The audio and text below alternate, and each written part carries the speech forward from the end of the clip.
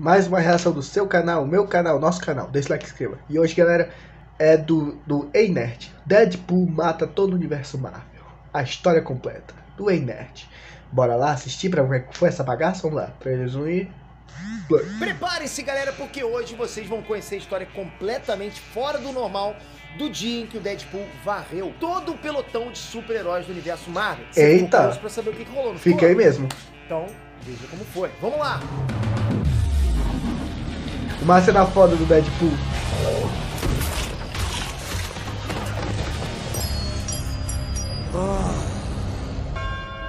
Deadpool mata o universo Marvel. Ajeitar aqui um pouquinho. Agora Strange, sim. Galera, que o Deadpool é completamente insano não é novidade. O cara é um mercenário, assassino, cruel, pirado da cabeça, com princípios de esquizofrenia, onde ele tá sempre quebrando a quarta parede e agindo como um engraçadão. Imagina como deve ser o convívio dessas pessoas com ele. Porque, cara, ele deve ser tão louco quanto, por exemplo, imaginar que você ainda não se inscreveu nesse canal. Uh, que vacilo. Não, não, não. Que que é isso? Isso é muita loucura! Muito obrigado pela sua participação, por você se inscrever que ninguém canal, aguenta no quarto. Ele falou por uma Isso hora. ajuda demais, galera. Cinco anos mandando vídeo de conteúdo pop pra você, conteúdos nerdísticos, porque você tá aqui com a gente. Obrigado, vamos lá. Mas continuando de onde eu parei, a gente pode imaginar que não é nada fácil ter que conviver com Deadpool. E essa ideia é o pontapé inicial para a história que eu vou contar para vocês agora. Onde o Deadpool mata o universo Marvel. Para situar vocês, né, a gente precisa colocar algumas cartas na mesa, né, para que vocês não fiquem boiando. Primeiramente, é preciso saber que essa história que foi lançada lá no ano de 2012 não faz parte do universo canônico da Marvel.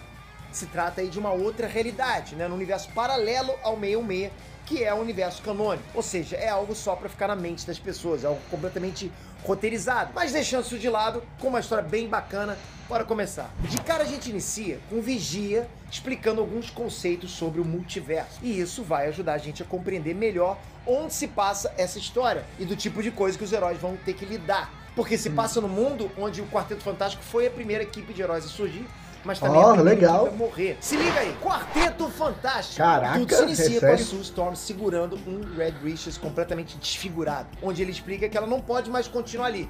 Isso porque alguém tava caçando eles.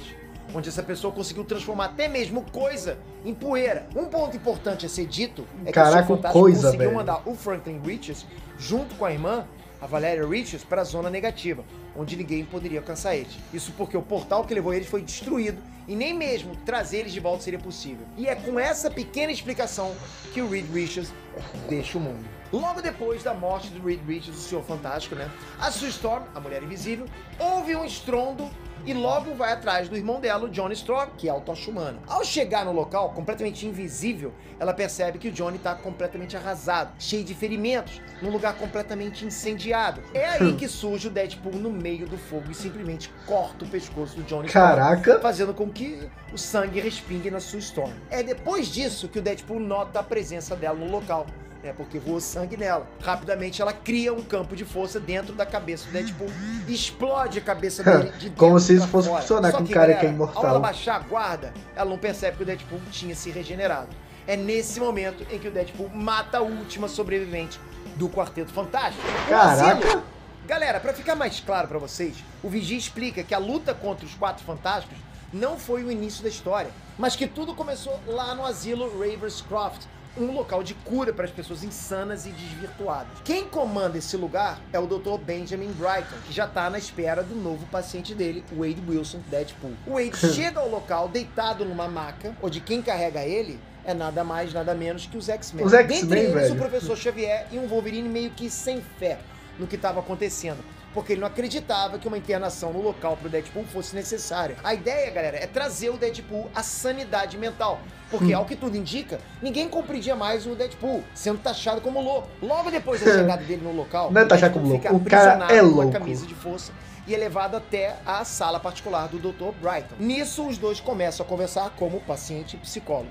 Nessa conversa, o doutor reconhece as habilidades do Deadpool e demonstra um pouco da verdadeira face, né, onde, na verdade, o Dr. Benjamin Brighton se revela como o Homem Psíquico, Psycho Man, Psycho. Nessa Man. parte, o Deadpool já tá no chão caído depois de sofrer um ataque mental através de um dispositivo que visava controlar o Deadpool. Ele tenta resistir, enquanto o Psycho Man revela Caraca. o plano dele de usar o Deadpool como uma arma numa equipe maléfica de super-humanos. Depois desse ataque mental, surge um lado ainda mais sombrio do Wade Wilson. E é esse lado mais sombrio que guia o Deadpool a fazer coisas que ele vai fazer. Isso porque o Deadpool consegue se soltar e essa voz leva ele à insanidade máxima. É aí que a gente tem a primeira morte, a morte do Psycho Man.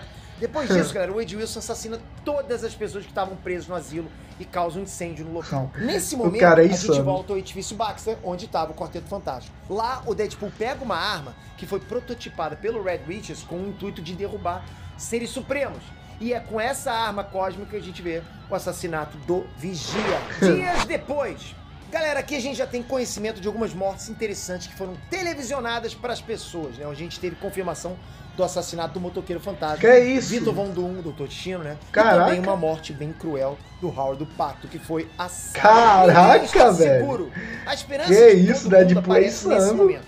Porque no meio dos arranha-céus, né, um combate épico está sendo travado. Peter Parker, o Homem-Aranha, luta com o Deadpool incessantemente e consegue derrubar o Wade Wilson lá de cima, que cai e fica totalmente desfigurado. Galera, nesse ponto, o fator de cura acelerado do Deadpool começou a agir e regenerou parte do corpo dele. Ao notar isso, o Homem-Aranha tenta convencer ele a parar com a onda de assassinatos, mostrando que jamais ele mataria porque não era o certo a se fazer. Mas parou por aí. Porque sem o Homem-Aranha ver, o Deadpool puxa uma arma e atira na cabeça do Peter Parker. Caralho. Complicado. Após esse confronto com o Homem-Aranha, a mente do Deadpool perde ainda mais a sanidade e busca um alvo ainda maior. Os Vingadores!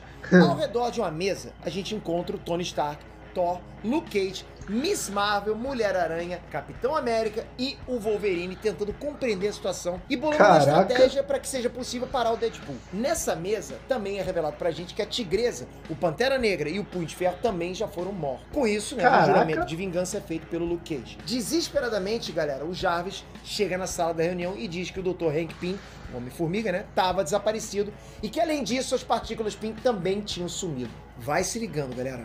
O Wolverine notou o próximo alvo e descobriu rapidamente que seriam eles, os Vingadores. A partir daí, surge uma bomba no meio da roda de conversa, né? E explode. E aí a gente tem confirmado mais algumas mortes, né? Tony Stark, Miss Marvel, Mulher-Aranha, Gavião Arqueiro e Capitão América foram Caraca, velho. explosão. O Deadpool aparece no cenário da explosão carregando o capacete do Homem-Formiga, mas poucos segundos depois é confrontado pelo Luke Cage, que sobreviveu à explosão por causa da pele dele indestrutível. Mas galera, o Deadpool já esperava por isso e tinha colocado microbombas dentro do café dos Vingadores. Foi tudo Caraca, velho. planejado. E todas cara é louco, mas é inteligente. Dentro do Luke Cage. E mais uma morte foi confirmada.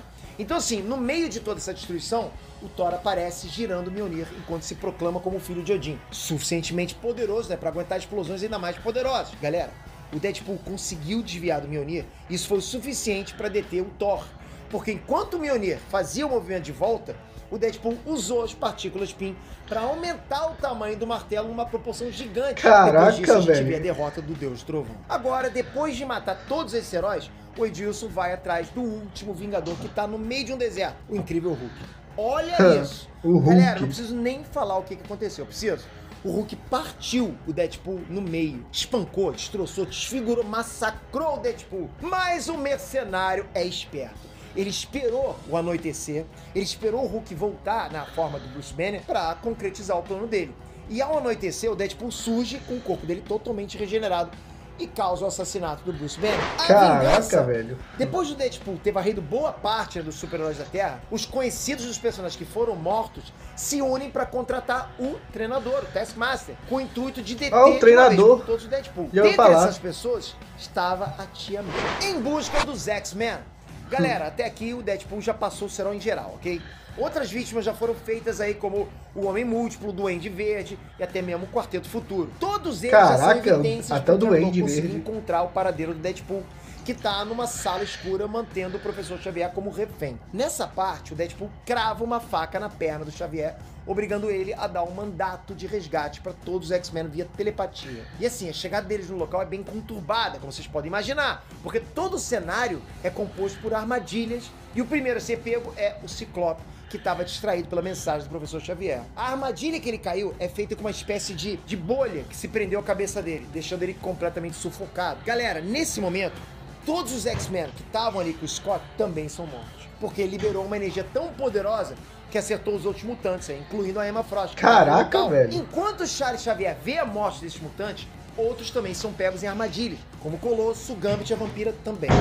Todos Caraca. eles também morrem. Nerd, ressalto aqui que o Xavier tava vendo tudo isso acontecendo, acompanhando tudo pelas câmeras, vendo os companheiros dele, né, morrendo em armadilhas feitas pelo Deadpool.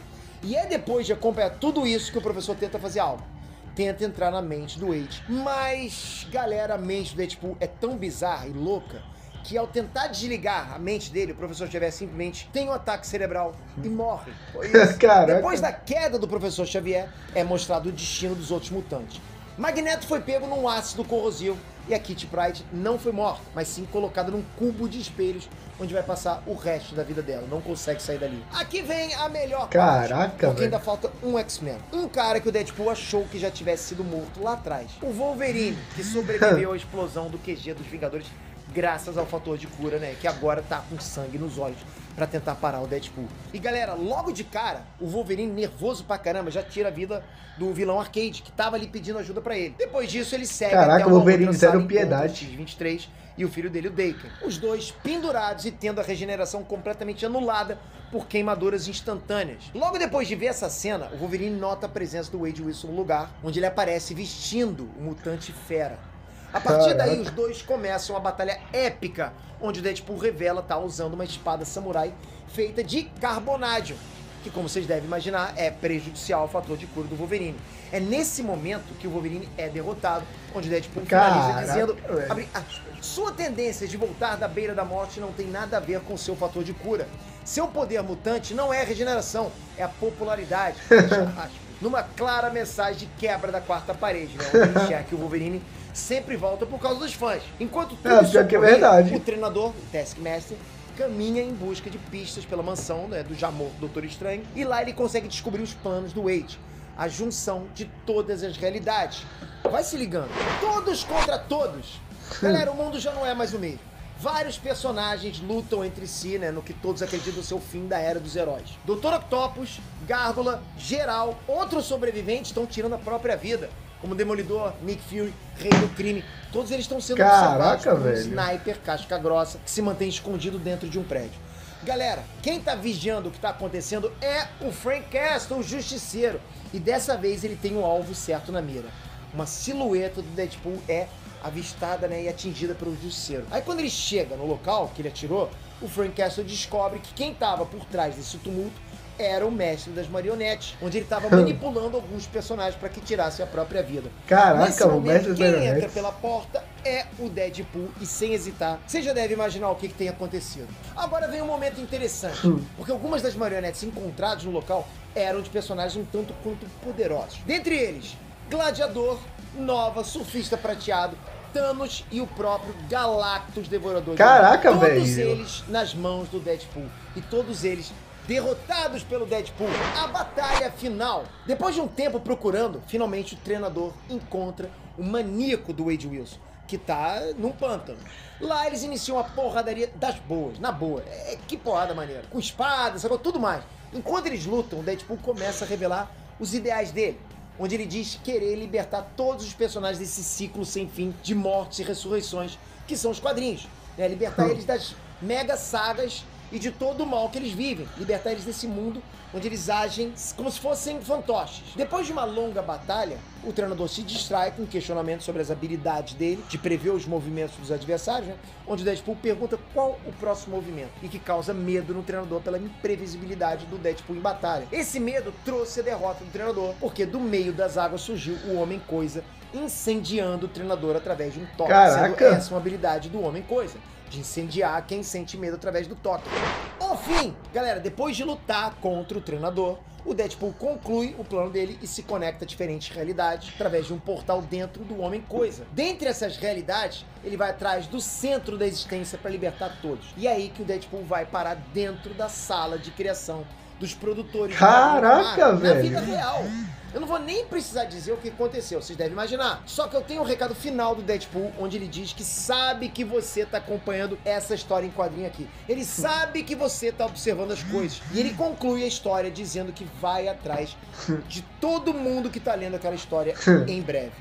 Hoje eu vou bater Que, um que legal, velho. Nerd, Incrível. muito obrigado. Não esquece o joinha se você quiser mais resumo de grandes sagas da Marvel. Capricha no joinha, ajuda a gente e olha, se inscreve no canal. Se inscreve aqui e eu vou trazer mais histórias pra vocês. Mas pra isso você tem que também ativar o sininho, porque só assim você vai saber quando eu vou trazer o próximo resumo numa próxima saga Marvel. Obrigado de coração, até a próxima. Fui!